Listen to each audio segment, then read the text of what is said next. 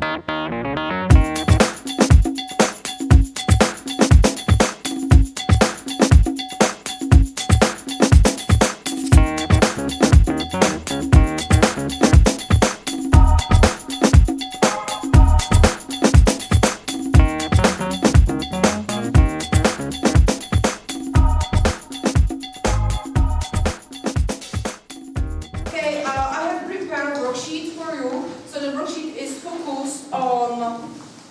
geography, on equinox and solstice. So then we are going to discuss this topic right now. So then the first task, which you can see in this worksheet, so then you can see the work list, uh, including pronunciation, and I tell you the Czech meanings to all of them, so then to all of all words.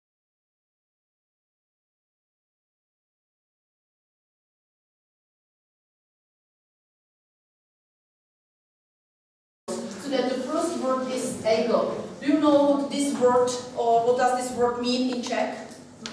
Angle. Karolino. Uhel. Uhel. Okay.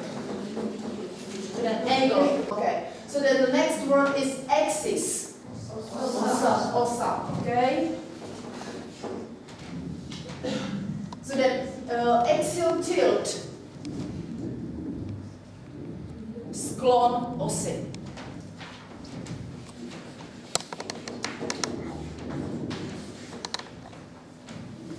Word is autumn. In? Okay. So do you know other expressions for seasons? So then apart from autumn, the first one is spring, summer, autumn, and the last one is Winter. winter. Okay. Then cancer. The next word is cancer. Rak. And uh, when we spoke about uh, cancer, so then it's necessary to translate Capricorn as well into Czech, so then Kozoroh.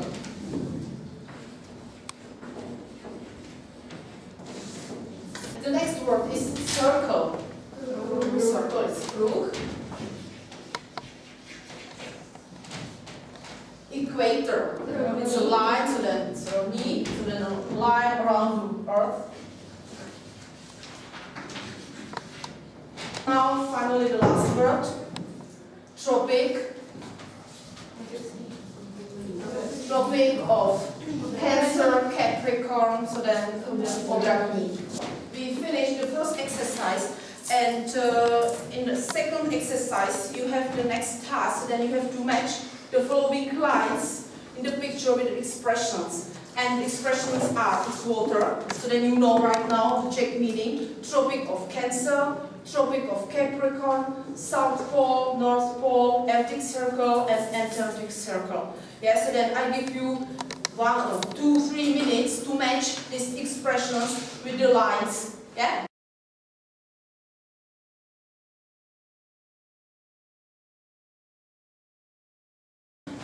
I suppose that you have finished. Then um, can you tell me so that what can we see at the bottom? So then what do you think is that?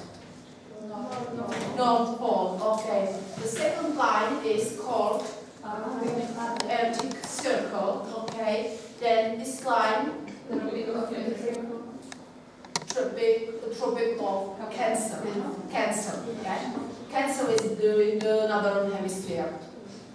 Then in the middle of the earth you can find equator, okay? Then this line is called Tropic of Capricorn, okay? This line is called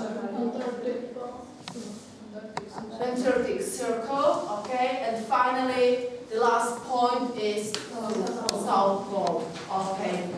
On worksheet you can see the exercise number three, yeah? And uh, you have there, uh, you have there a box, yeah? And uh, it's necessary to complete the words from this box into the article. But don't worry that you don't know all the information because I prepare or I organize a video, so that a movie for you, and uh, you are going to listen to the information from this article or from this video, and you are going to complete the words from the box, and you have to put them on the right place in the article.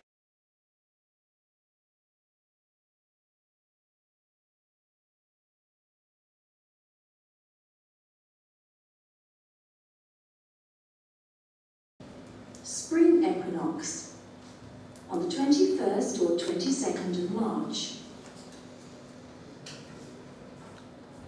The overhead sun is over the equator. The equator receives the largest amount of solar radiation. At this time, the northern hemisphere is in the spring equinox, while the southern hemisphere is in the autumn equinox. The angle of the sun decreases towards the poles. On this day, the two hemispheres receive a similar amount of solar radiation, and the length of day and night is the same at all places on the earth. After this day, it is spring in the northern hemisphere, where the day is longer than the night. In the hemisphere, it becomes autumn, when the day is shorter than the night.